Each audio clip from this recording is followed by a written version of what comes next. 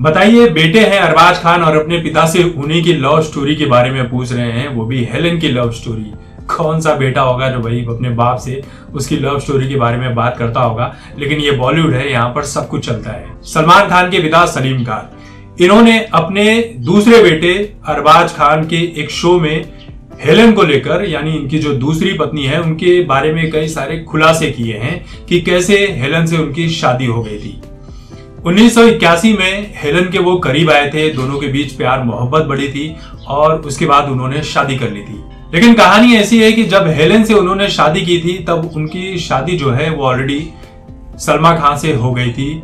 जो कि सुशीला चरक थी, पहले एक हिंदू थी। उनके पिता को उन्होंने खूब समझाया था कि कोई भी परेशानी नहीं होगी, भले ही वो हिंदू हैं और मैं मुस्लिम हूँ। ऐसी कोई प्रॉब्लम नहीं आएगी। तब जाकर उनके पिता रेडी हुए थे। बहुत सारी उन्होंने रिक्वेस्ट वगैरह की थी। लेकिन पहली पत्नी से उन्हें सलमान खान, अरबाज खान और सोहेल खान जैसे पहले ही तीन बच्चे थे।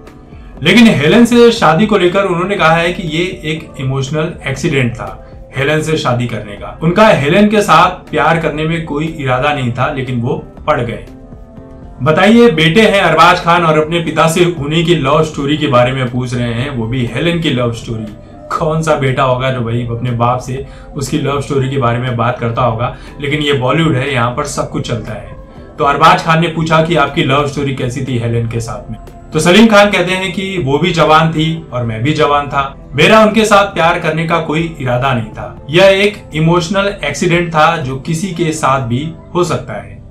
अरबाज खान ने जब सलीम खान से सलमा खान के बारे में पूछा, यानी कि सुशीला चरक के बारे में तो वो कहते हैं कि हम चोरी चोरी चुपके चुपके मिला करते थे, लेकिन जब मैं उनके पिता से मिलने गया, तब सारा का सारा मोहल्ला जान गया कि हमारी क्या प्रेम कहानी चल रही है।